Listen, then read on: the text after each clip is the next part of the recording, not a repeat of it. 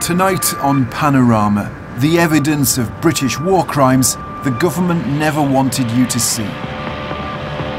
That is a complete and utter disgrace. We know it went on, and for them to say it didn't, they're lying. Insiders from the Ministry of Defence say illegal killings have been covered up by the state. These are the biggest of allegations. The state covered up a murder. Yes. How does that feel?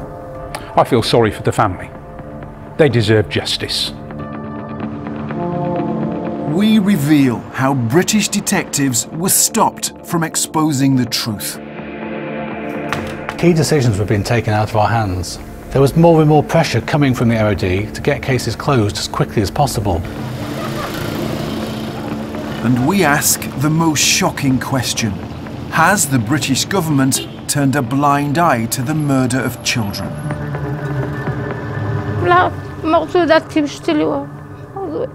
They had shot the boys in the head.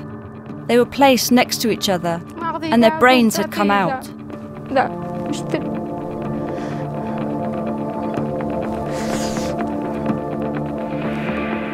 What have you personally made of this case?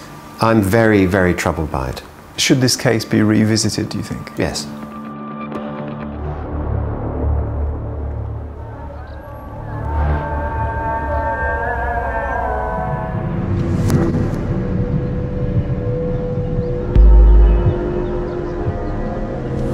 They came in the night. The British Special Forces were looking for Taliban fighters. We were all sleeping. First they came and bombarded the area. Bibi Hazrata lived with her three sons on a farm in southern Afghanistan. She says soldiers climbed over the walls and rounded up her family.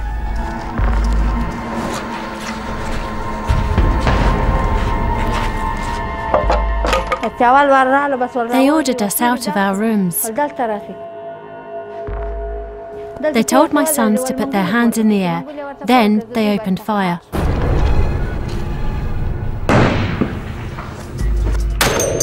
So the, they had their hands in the air when they were shot?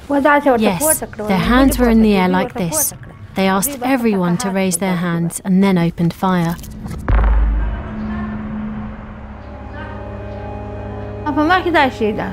They were killed right in front of me. I will never forget that.